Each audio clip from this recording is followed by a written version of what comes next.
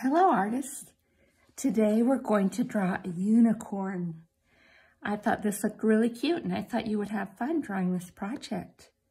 So today we need paper and something for a black outline if you have it and something to color with. I used watercolor. So let's get started. Okay, I want you to think about where is the center of the paper. Okay, can you put your finger on it? So that'll kind of help us know where to move around. And we're going to start with the head shape and go around like this. So it's pretty big. I want you to really use your paper well. Okay, I'm going to do the neck shape. And I'm going to do just lightly up here because I know I'm going to go over it in, in my Sharpie.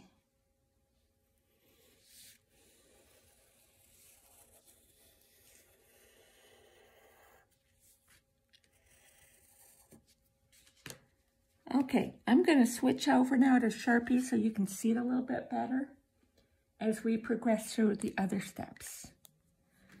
So I'll Go ahead and you can use a black crayon or a black pencil.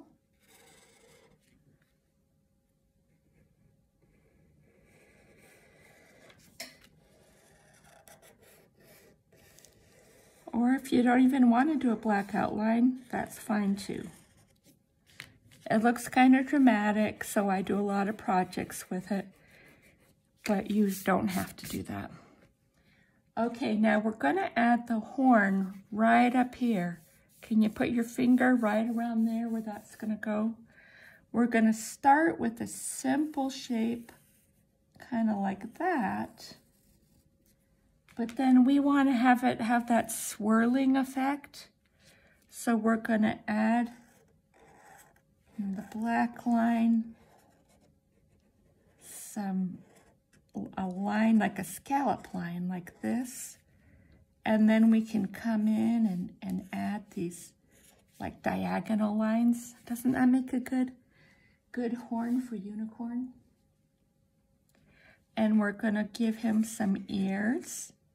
They're like two upside down U's. And unicorns have really pretty hair. So we're going to do some swirls here.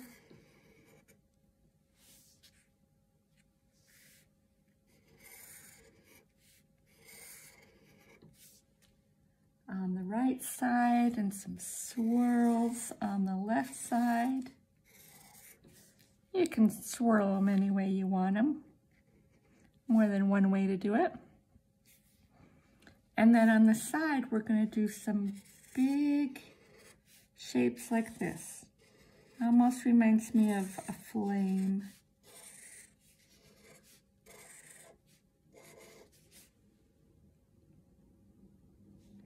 And on this project, we're going to do the eyes closed.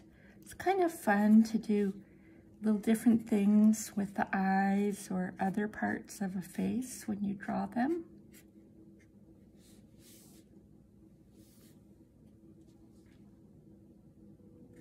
This is like the muzzle of the unicorn. It's, it's close to a horse, so it's, it's gonna look very similar. We're doing a sideways mouth and a couple little nostrils and a cheek. And that's all on our drawing. We're gonna move right on to our painting. And this painting is fun because you can use any colors you want. We're going to leave the unicorn pure white, so you don't have to do a thing with that. And you might want to have a couple sizes of brushes if you happen to have them available. And I am going to start with, let me get my watercolors closer. I'm gonna do a little pink cheek. And a little pink in the ears.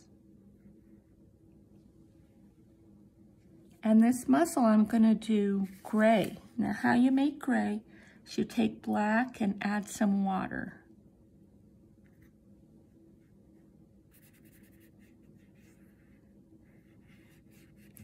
It's mostly water, in fact.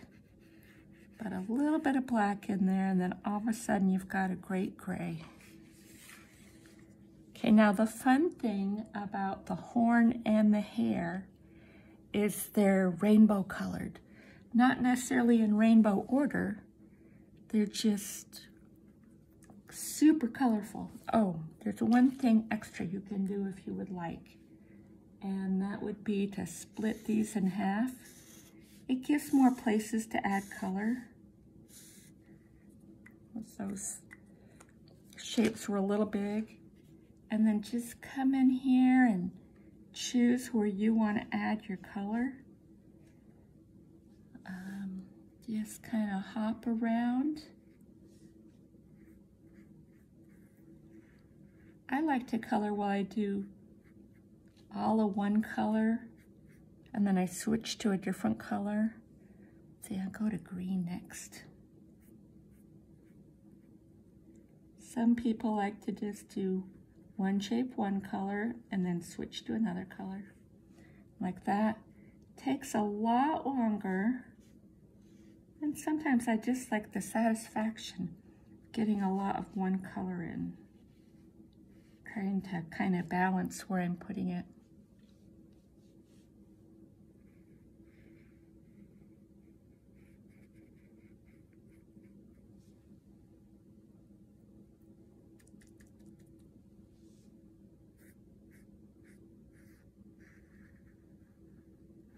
Could even color mix a little bit, if that sounds fun to you.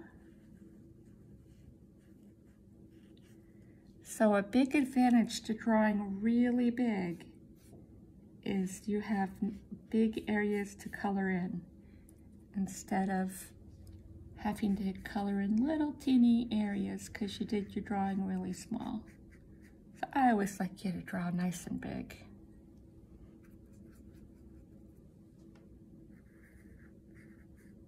If the color turns out a little bit light, use a little bit less water and more paint and go over it a few times and it'll get darker every time.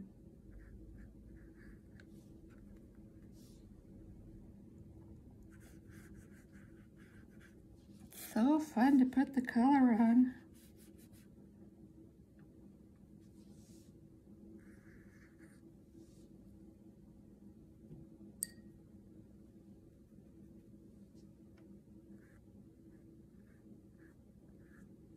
Now you may choose to use crayons or colored pencils or markers, and that would be fine.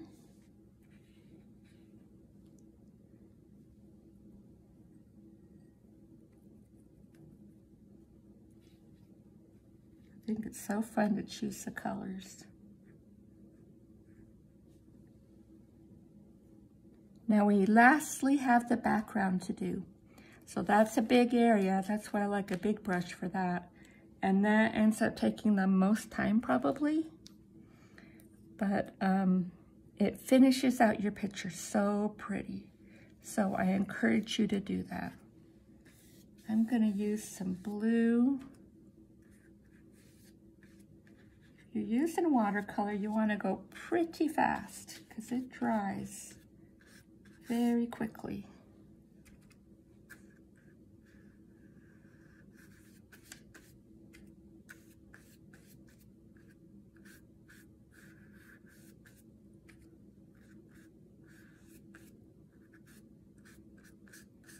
If it seems kind of light, just grab some more paint, more water, more paint, and then you can get it more how you want it. And it doesn't take too long to dry. Just try to edge around there, around all the main parts. I don't want to get my paint all a big mess in there.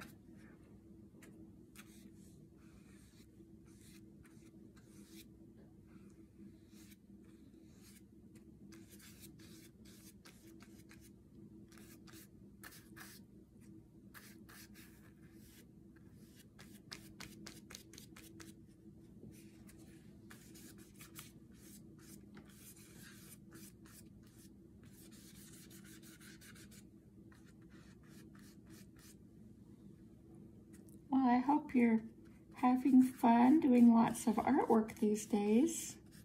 I know I am. I think it is the funnest way to spend a day doing some artwork. Well, there you go. There's my unicorn with a blue background. And there's my unicorn with a pink background. And I hope you have a wonderful time drawing your very own unicorn. Bye-bye.